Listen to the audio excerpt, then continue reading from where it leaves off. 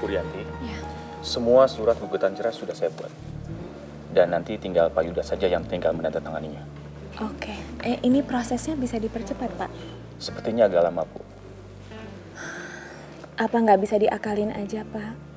Saya akan mengusahakannya. Walaupun sepertinya ini berat. Makasih ya, Pak David. Sama-sama.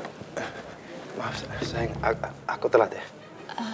Em, Pak David bisa tolong tinggalin kami berdua? Maaf Bu Rianti, Pak Raffi sudah berpesan kepada saya untuk tidak meninggalkan Ibu bersama Pak Yuda, walaupun cuma sebentar. Saya mohon, Pak, ada hal yang ingin saya bicarakan. Tapi Bu, Saya mohon pengertiannya, Pak David. baik Bu, saya permisi. Makasih. Maaf, maaf, aku agak telat. Mas, tadi ada orang datang ke rumah. Katanya pemilik kontrakan yang Mas sekarang tempatin. Oh, Pak Mahmud. Iya, dia minta pembayaran. Aku udah bayar tiga bulan ke depan. Makasih ya, sayang.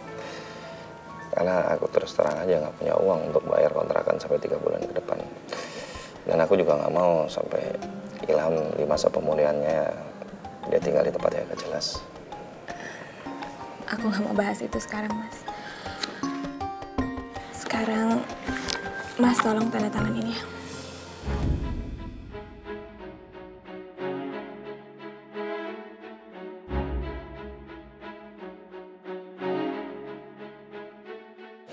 Enggak. Aku nggak mungkin menandatangani surat perceraian ini, sayang. Sampai kapan pun aku nggak akan menceraikan kamu. Mas, nggak ada lagi yang bisa dipertahankan, Mas. Aku udah nggak bisa jadi istri kamu. Bagaimana mungkin kamu bisa bilang nggak bisa dipertahankan? Aku cinta sama kamu. Cinta yang kamu kasih itu palsu, Mas. Oke, aku banyak melakukan kesalahan. Mungkin aku sudah berbohong gara-gara Mira. Tapi cinta aku ke kamu tulus. Aku mencintai kamu tulus, Rianti. Aku nggak mau rumah tangga yang aku bangun, kita bangun bersama selama ini, itu rusak berantakan cuma sekejap mata.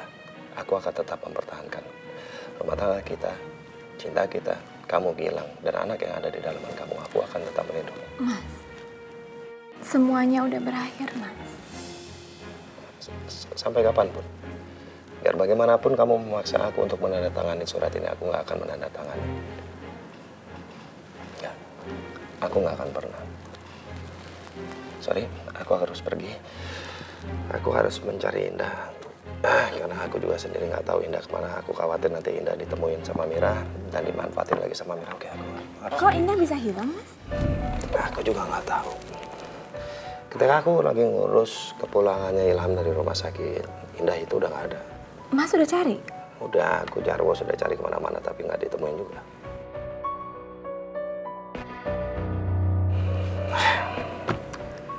Aku udah gagal sebagai bapak.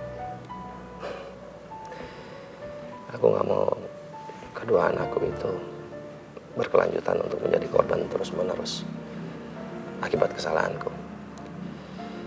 Aku juga nggak mau sampai anak-anak itu kembali sama Mira. Karena aku tahu untuk sekian kalinya Mira pasti akan memanfaatkan anak-anak itu. Aku sudah sudah merasa cukup. Aku udah nggak mau lagi. Ya apa pun akan aku lakukan untuk memelihara mereka sampai kapan pun. Ya meskipun aku harus cari uang, cari kesibukan untuk memenuhi seluruh kebutuhan mereka. Akan aku lakukan.